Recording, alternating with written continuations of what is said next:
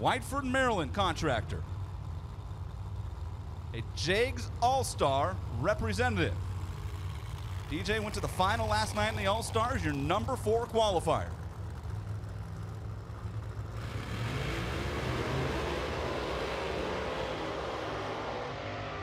And that is Chris Marshall in the right lane. Chris out of Division 6 in the Western region.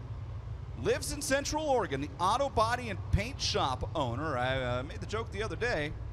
I left his wife at home to run the family business. He's out here looking for Brianna. It's just not, not backing up Chris.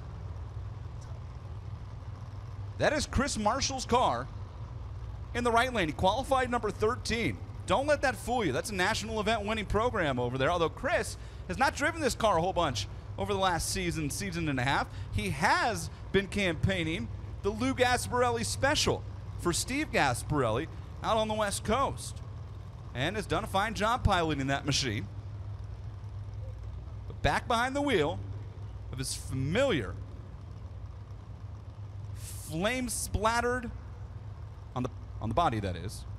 He's the one who put it there. Machine in the right lane for Chris Marshall. Chris, your number 13 qualifier. DJ, your number four qualifier. Johnson's Horsepower Garage side of the racetrack. Here we go. First one off the line, Chris Marshall. DJ Cox has it made up by half track top end.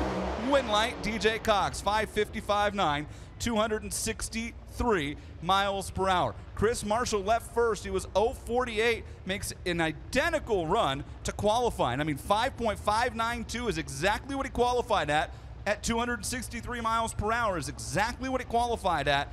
And by one hundredth of a second, it was not enough to knock off DJ Cox, who goes 555.9, slowed down a little bit from qualifying, 263 miles per hour, 066 up here on the starting line. DJ cleaned up whatever distracted him last night in the final of the JEGS All Stars, and DJ Cox is moving in to round number two at the Dodge Power Brokers U.S. Nationals. Round two of alcohol will happen a little bit later this afternoon, following our final Camping World session and round number one of Pro Modified as well.